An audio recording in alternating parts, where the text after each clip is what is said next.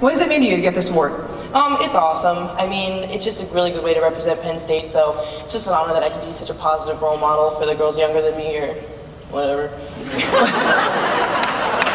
What do you plan to do with all of these awards and recognition that you've received? Well, I hope to use my platform to eventually meet and marry JJ Watt. Goals, goals. In terms of working with your team, what's special about your relationship with them? We all get along so well. We all care so much about each other and want the best for each other, and um, we all just like love to have a good time. What kind of a good time do you have? Uh, we sing, we dance a lot. What do you dance to? Uh, Big Rings by Drake. Whenever it comes on, we just kind of break out and dance. Is that right? Whenever you hear the song, you just completely. We all look at each other. And I got a really big team, and they need some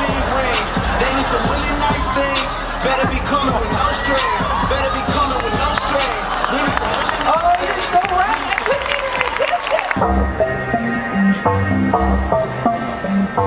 Oh. oh, that's so nice. No, I know your coach. That's not your coach. That was not Russ Rose, everybody.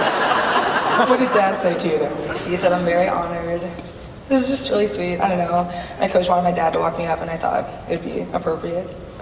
I agree. It was very nice. I wonder what Russ would have said, but probably, I don't know, not that. Some of us wonder about the mind of a middle hitter because when you're a middle blocker, because what you guys like to do is wreck everybody's day, right? Somebody's got plans for the ball, they're going up, I got plans, and you guys shut it down. Tell us, take us inside your mind. What does that feel like? Uh, That's a lot of what's going on in there. Kadie, this dress is serious. I mean, this dress deserves its right. It deserves its own round of applause.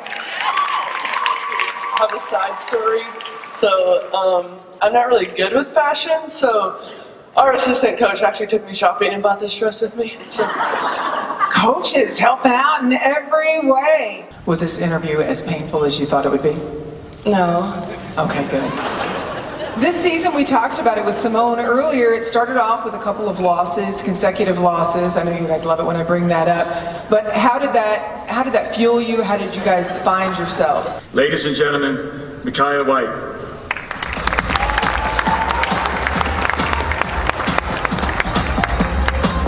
I saw that look, Micaiah. Go ahead, say it for him. Micaiah. Micaiah. She has heard that mispronounced too many times. When the parents get fancy and they give you a name that's hard to pronounce, you live with it your whole life, yeah? I was supposed to be Elizabeth. That would have been a lot easier, no? Yeah, I guess.